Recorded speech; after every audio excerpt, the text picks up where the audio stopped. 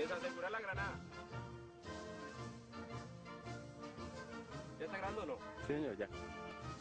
Colocar la granada en la boca del fuego.